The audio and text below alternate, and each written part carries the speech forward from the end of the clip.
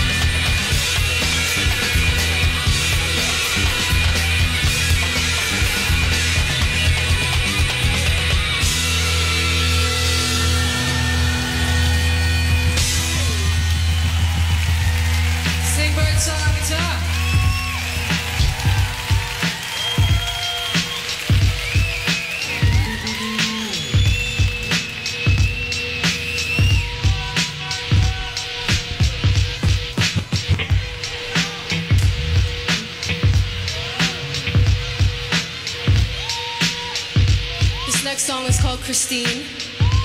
It's about a girl who plays the guitar in her room. Could be me, could be you.